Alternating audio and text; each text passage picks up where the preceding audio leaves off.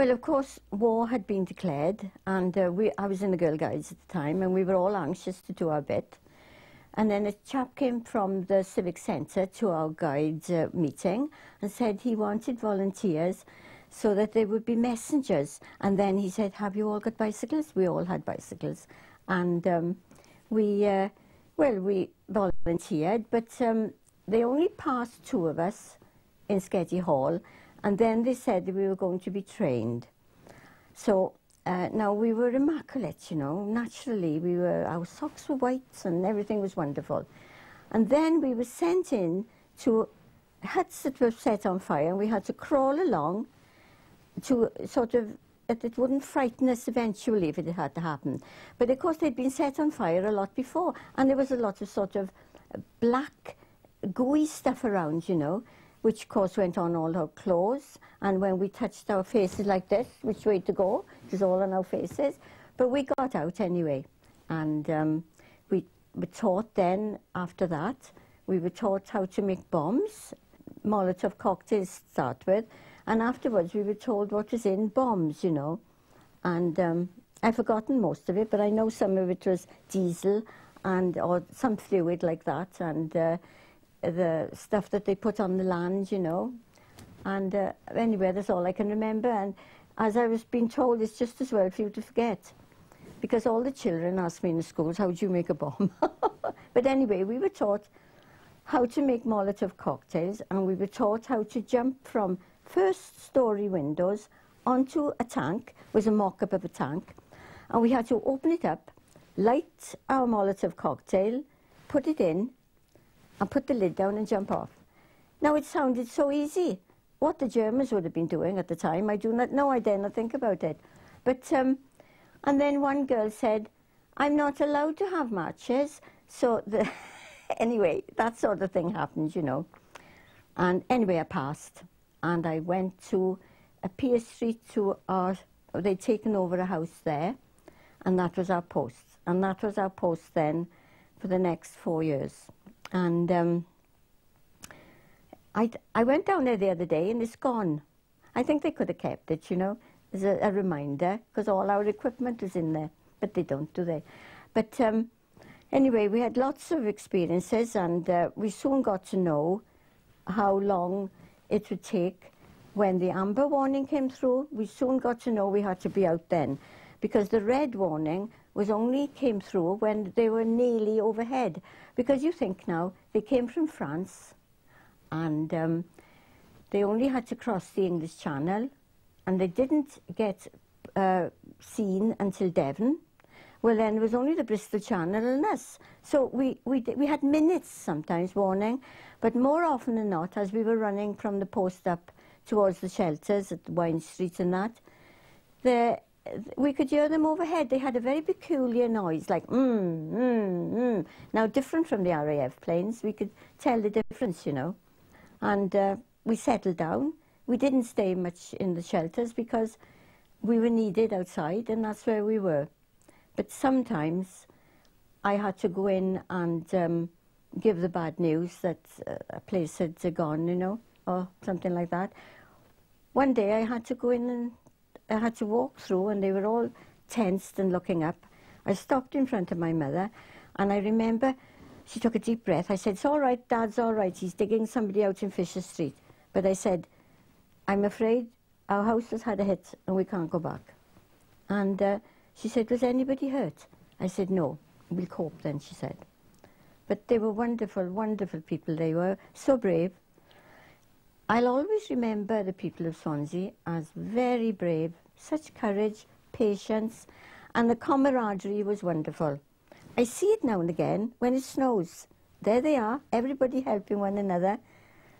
It's lovely. Those people, they're still there. They, well, of course, they're children now, and, but they're still very lovely people.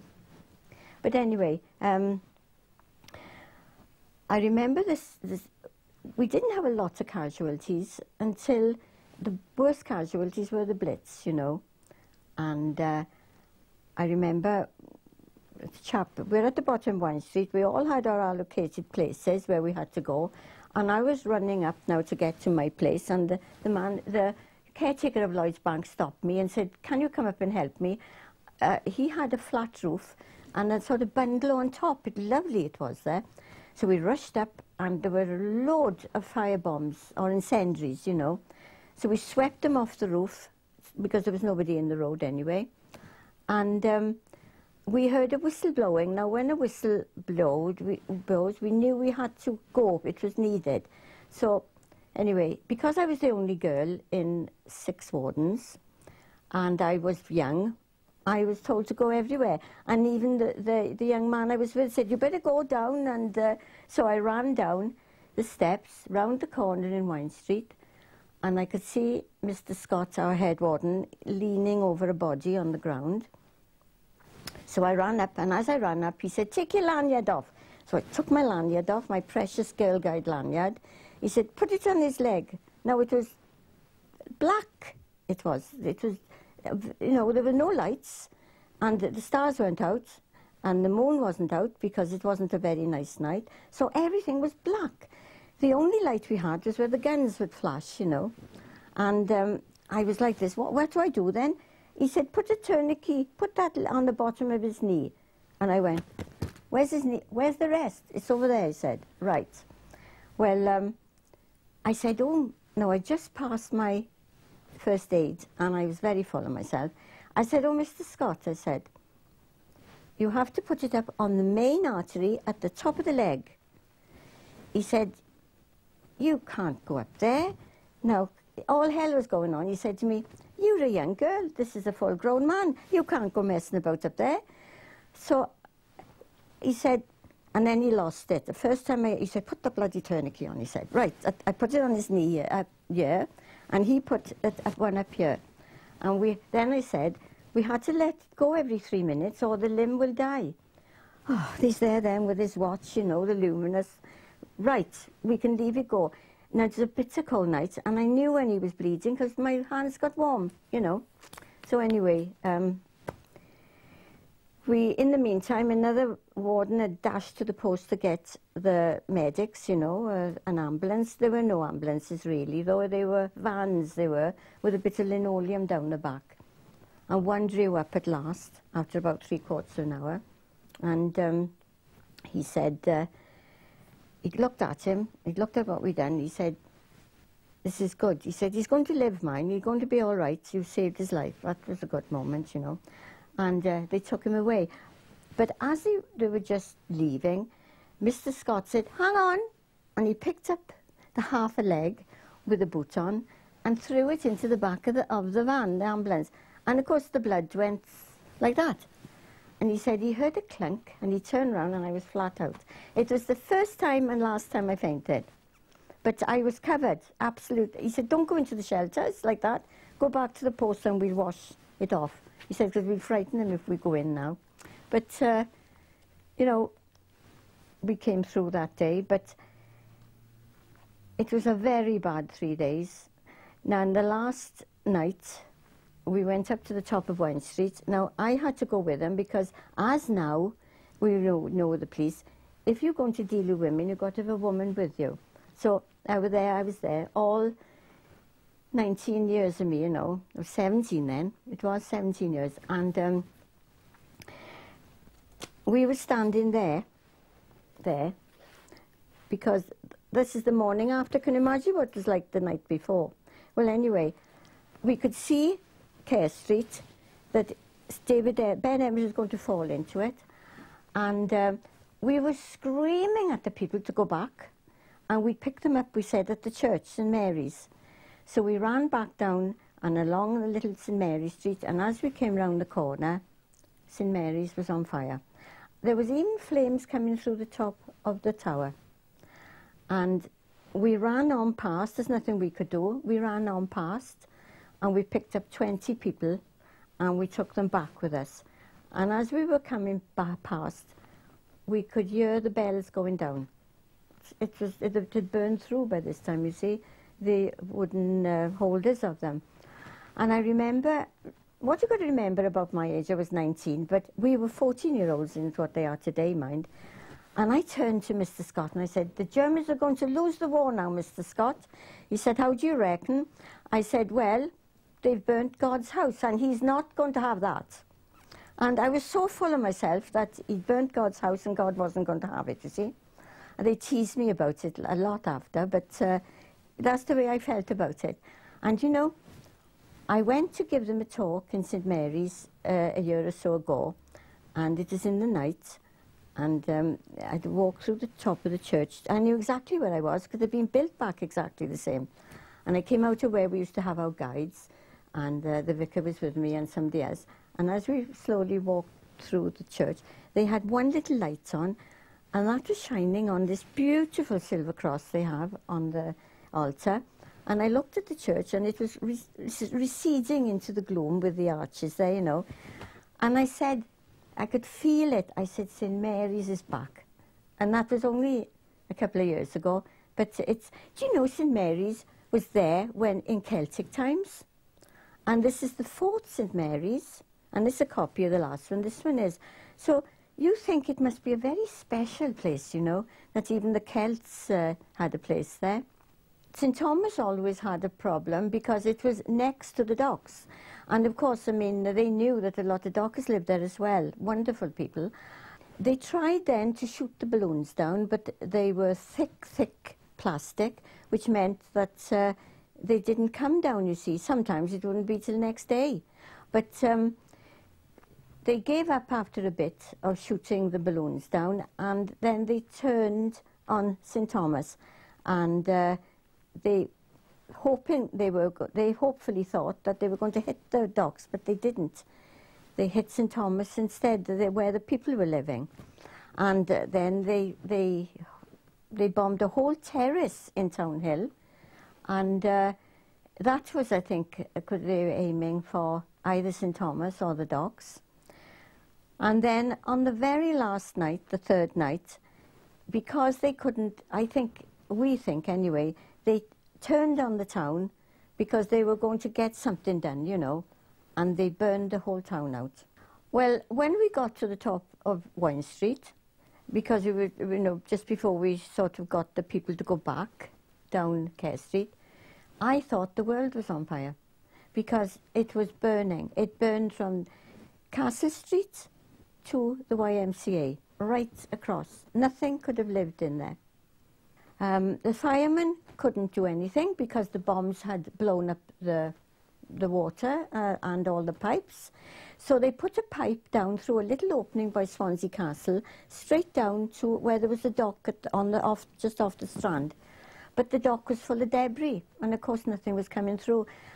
And I was seeing firemen in tears with frustration. And don't forget, they'd been going for three days and three nights, and like us, they were exhausted. And uh, there was nothing they could do. They were just standing there. There was nothing they could do. And every, if you think about it, all the gas mains, and there was a lot of people on gas in those days, they were all burning in the centre. So we were yelling at a couple of people, or there were 20 of them actually, to get, get back and go round to the church. And then we picked them up there. But um, it was they were determined to wreck our town because they couldn't wreck the docks. They probably thought they'd have put the town out of action, but they didn't. And uh, that's what happened there. But when we were up at the top there now and seeing that everything was all right and we got the people out, the head warden said to us, um, we'd better go down and see how things are at the bottom. And he said to me and the other warden, you run down and see how things are. Well, when we got down, there was another warden down there who said, we got to do something. The, we were next to a brewery, you see, our um, post, our, well, it was a shelter it was. Now, you know the Silurian Hotel is there now, Salubrious Hotel is there. Exactly where the hall is, that was where our post was, exactly. I said, what to come down for a lovely poster. Anyway, um, and he said, the top, of the fire watches have said, the top of the Hancock's brewery is burning on fire. We had to run back up down to tell what we were going to do, because we, couldn't do anything without the head warden, you see. And uh, it, protocol, you know. Anyway, he, down he came, he said, well, the brewery is full of alcohol. Now that is a bomb. Now he said, we've got to take the people out.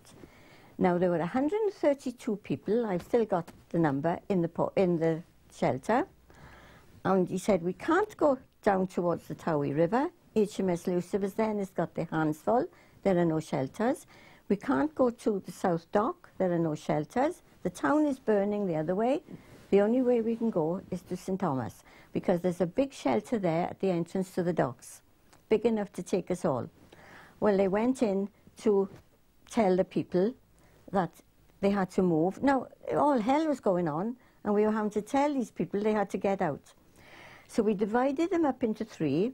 They were all crying. Some didn't want to go till my father, who was in the First World War, knew how to deal. He said, if you stay here, you might die. But you got a chance to live if you come with us. So they did. The young ones who could run, they were the first wave. They went over with two wardens. Now we had to go along Quay Parade, past the flour mills, and across another bridge then. So anyway, the second lot would go, the, were the middle-aged and, uh, you know, that those could go along quietly and nicely. They went. And then he turned to me and another young warden and he said, uh, the young warden, I said he was about 35, but he had something wrong with his leg. I say he was young. Anyway, he said, you'll have to bring up the old people, you two will. And he turned to me, he said, now you know you like old people. I didn't know I liked them until that day, but I was told I did. And he said, you bring them along as you can. Now, most of the ladies there were Roman Catholics and lovely, lovely people. But they wanted to say their prayers in the middle of the road. Now, there was army vehicles, there was ambulances, there was fires.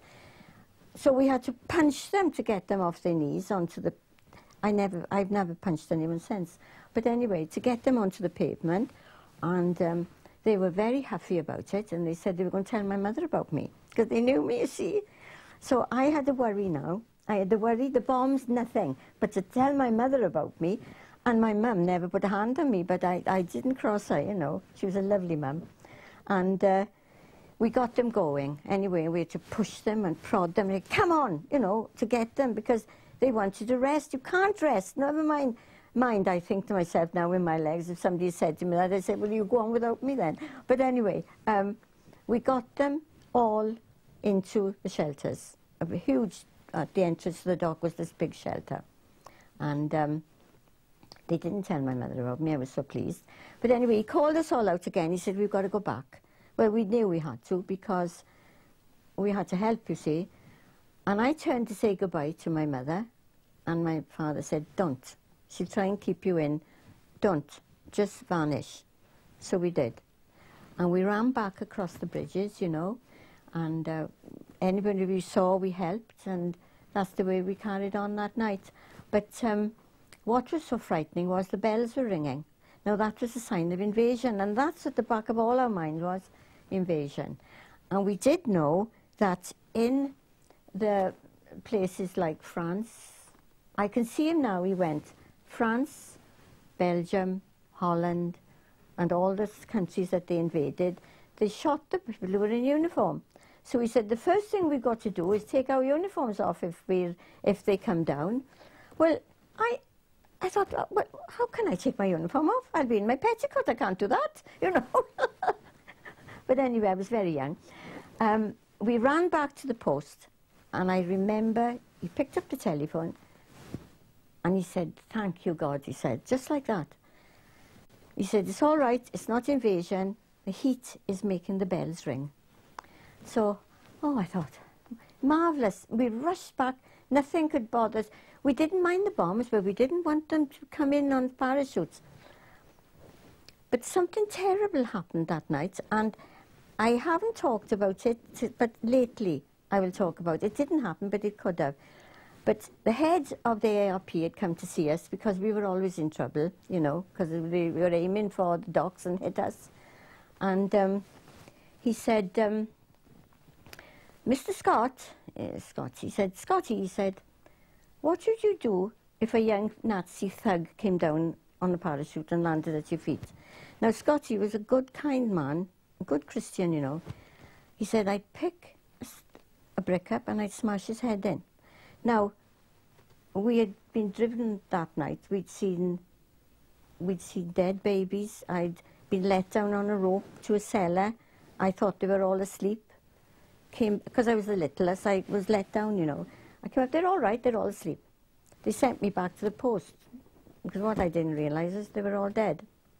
Not a mark on them, but the blast had killed them, you know.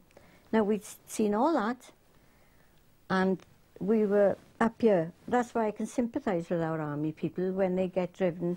There's only so far you can drive a person.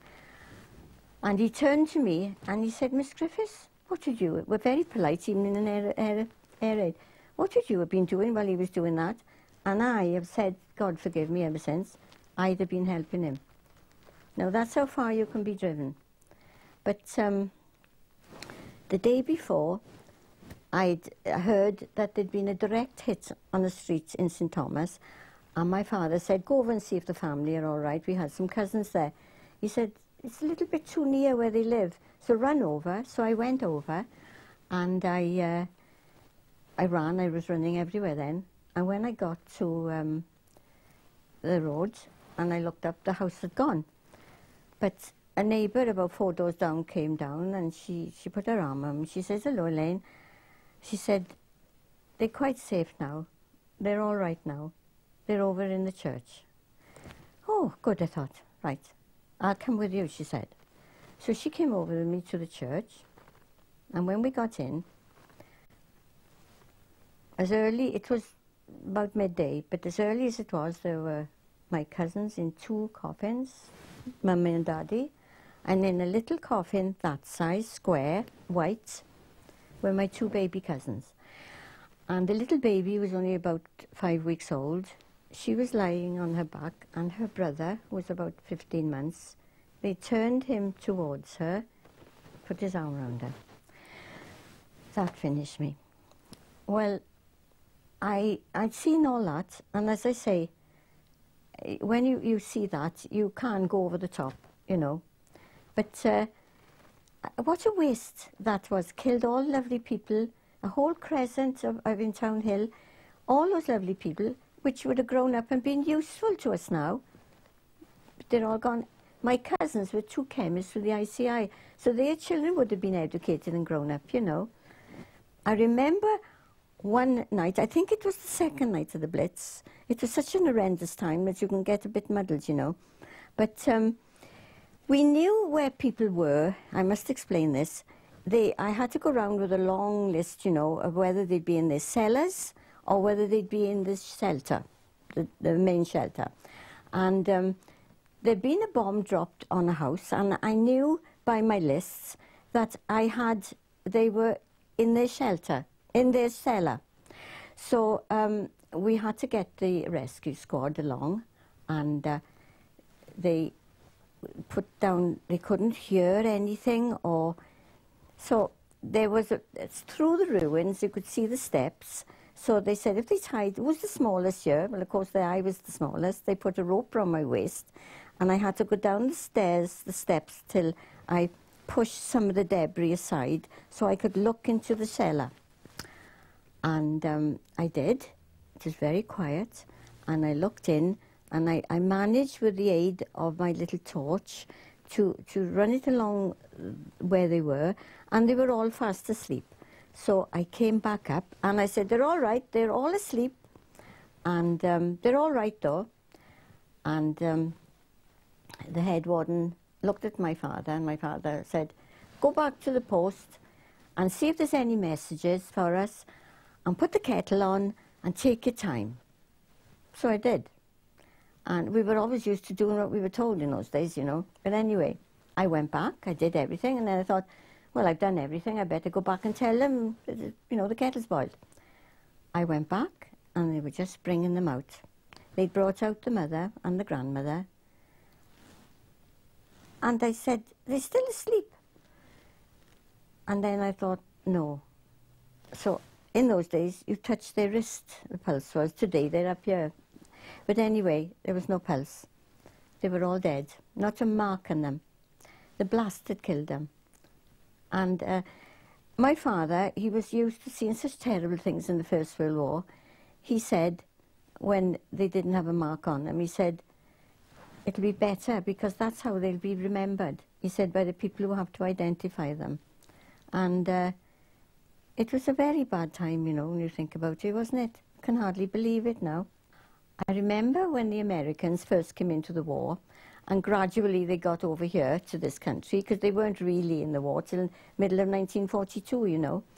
And um, they were stationed up in Morriston, and the two had found their way down to the bottom of Wind Street.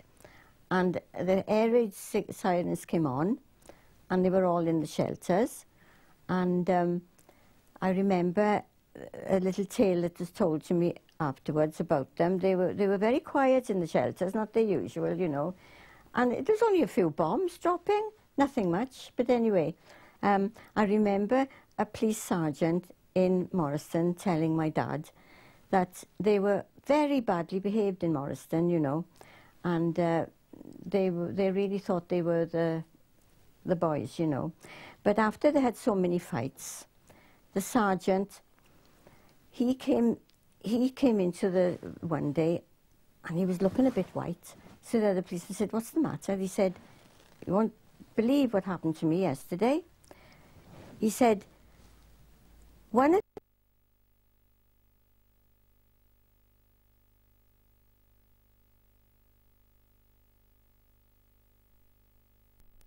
his revolver out, he said, and I froze.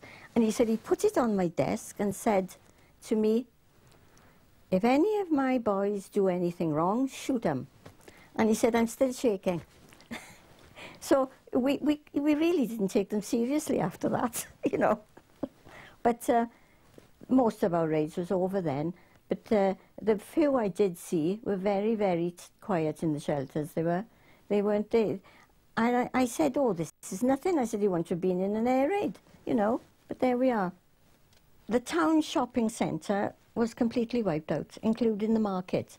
I mean, the market was the centre of our town, you know. And shops were rendered useless by, well, they had either bombs in them or they had bombs that hadn't blown up, but they were still dangerous, you know. There were now 171 food shops gone. 64 grocery shops, 61 butchers, 12 bakeries, 34 hotels, and of course there's the restaurants and the cafes, they'd all gone. And the figure that does, does not deal with the greengrocers and other stalls in the lost market. But to illustrate to you from the market's point of view, there were 45 butchers' holdings in the market, and these 45 butchers were supplying no less than 22,000 people. So it was an horrendous morning, that next morning, when we looked at our town, which was burning. It burned for days, actually. Well, of course, what was worse of all for us were the casualties of people, you know. There were 230 people killed and 409 people injured. The nurses in the hospital were wonderful. The hospitals were overflowing and many people were treated in the large corridors that were the old Swansea General Hospital. There were 12 more attacks in 1941 alone. These attacks resulted in 387 people killed and 851 injured. So much of Swansea was damaged, and all the lovely late Victorian and Edwardian buildings seem to have gone now. Teilo Crescent was pretty well wiped out during the war because they were aiming for a target and obviously missed it, and the whole crescent was pretty well obliterated. A lot of people killed there. And I remember a man telling me that his two sons had been killed at the side of him. He was bewildered because he, why he was alive and not them. And he laid them out on the grass in front of the house because the people next door were underneath their kitchen and they were alive and he had to go and help them. And when he came back, his sons had gone. But the ambulances had been coming along and picking up the dead and the wounded in the same ambulance and taking them to Swansea Gen, where the nurses, they must have been wonderful people, they sorted them out. And um, it's a very small world, you know, because the brother, the remaining brother of those two boys who were killed, he married a lady and she worked in our shop for, oh, 30 or 40 years. And we're still friendly with her, of course. But it's such a small world. But they, what they didn't know was, and what ought to be really, you know, told to the people of Swansea, was that there's a wonderful, wonderful book in St Mary's Church, and um, it, it really is very beautiful. It's like as if the monks have written it and put pictures in it. And they've got the name of every casualty that died during the Second World War. And uh, all you have to do is ring the vicar and he will make arrangements for you, anyone to see it. But when I found out about it and I told them, they said what a beautiful book it was. The other was 15. And I thought, what a waste.